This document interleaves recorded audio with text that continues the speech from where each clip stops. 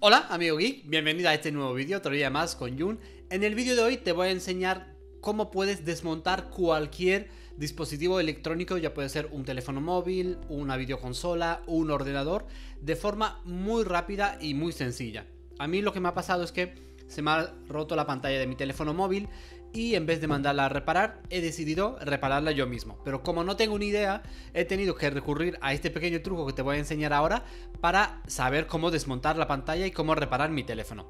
Así que no te vayas, quédate conmigo hasta el final del vídeo que te lo voy a explicar de forma muy muy rápida y ya verás lo útil que es. No sin antes comentarte que tenemos un reto de aquí a finales de año para llegar a los 50.000 suscriptores. Ahora mismo somos 34.376 y me encantaría, me encantaría que tú fueras el 34.377. Así que no te vayas sin suscribirte en el botoncito de abajo y darle a la campanita.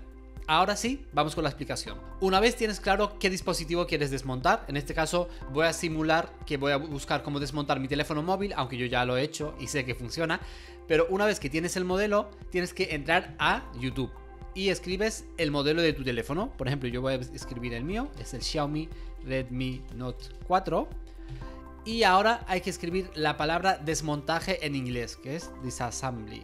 Disassembly. Y le damos a intro. Y sale un vídeo en el primer resultado muy muy detallado de cómo puedo desmontar completamente el teléfono.